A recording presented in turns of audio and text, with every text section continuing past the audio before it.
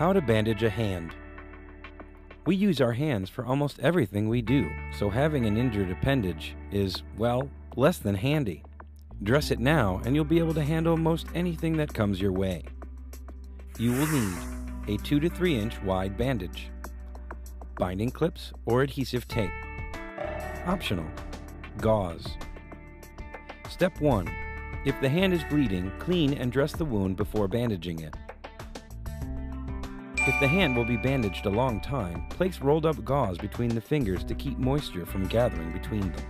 Step 2. With the victim's hand palm up in front of you, place the end of the bandage on the inside of the wrist and wrap it around the wrist twice. Step 3.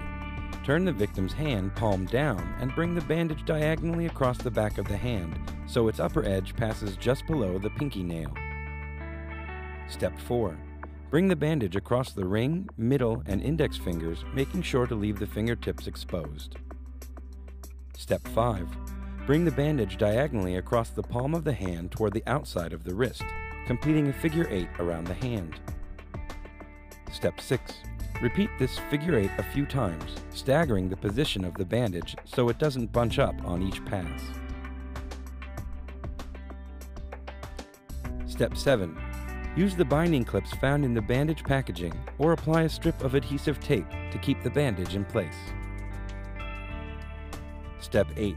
To make sure you haven't impaired the victim's circulation, squeeze the tip of a finger on the bandaged hand and gauge how long it takes for its color to return. If it takes longer than 3 seconds, undo the bandage and redo it with a little more slack. Did you know? Including the wrist, there are 27 bones in the hand.